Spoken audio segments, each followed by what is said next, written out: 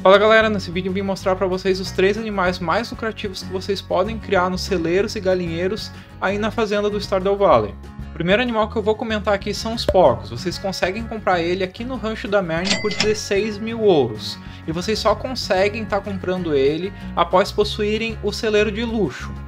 Os porcos desenterram trufas, que é um item bem valioso e que também pode ser usado para estar tá produzindo óleos de trufas. Cada trufa vai ser vendida em média entre 625 a 1250 ouros, e com as profissões coletor e botanista você sempre vai conseguir uma trufa de qualidade máxima quando ele desenterrar, ou seja, sempre vai vir trufas de qualidade de irídio.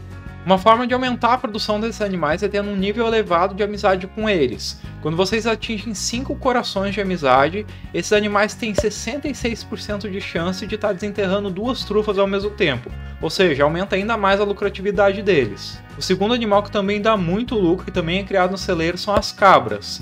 Se você tiver um nível elevado de amizade com elas, elas produzem leite de cabra grande. Caso você tenha uma prensa de queijo e coloque esse leite de cabra grande dentro dela, ele sempre vai produzir um queijo de cabra com qualidade dourada, que posteriormente vocês vão poder colocar dentro do barril de madeira para estar tá envelhecendo e transformando ele em qualidade de irídio. Depois que esse queijo ficar pronto, caso você tenha a profissão rancheiro e artesão, vocês vão conseguir vender ele por até 1120 ouros. É uma boa lucratividade para esse tipo de item.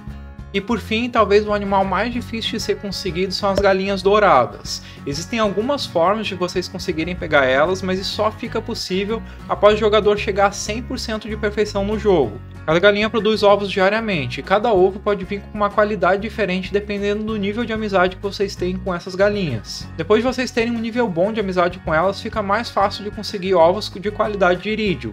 Cada ovo de qualidade irídio com a profissão rancheiro vai valer 1.200 ouros. Ou seja, cada galinheiro com 12 galinhas vai estar produzindo em média diariamente 14.400 ouros. Ou caso vocês tenham, sei lá, 4 galinheiros, vai estar produzindo aí 57.600. A galinha dourada acaba sendo um animal bem lucrativo, o único contraponto é o nível de dificuldade que vocês têm que estar conseguindo uma delas. Eu já gravei aqui um vídeo no canal ensinando a como fazer isso que eu vou estar deixando um card aqui ensinando passo a passo. Existem diversos outros animais que vocês também podem estar criando, mas nenhum deles vai dar o lucro que as cabras, os porcos e as galinhas douradas vão estar proporcionando aqui no jogo. Eu já gravei outros vídeos, inclusive como ganhar dinheiro com cabras e como tá ganhando dinheiro com porcos, que eu também vou estar deixando um card aqui, caso vocês tenham interesse em aprender como fazer isso. Eu espero que vocês tenham gostado desse vídeo, eu sou o Lemão, valeu e até a próxima!